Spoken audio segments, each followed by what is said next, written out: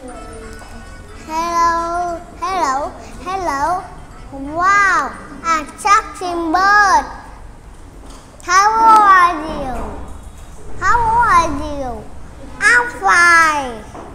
I'm, I'm fine, I'm fine.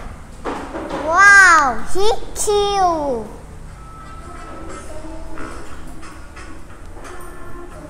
Wow. How are you?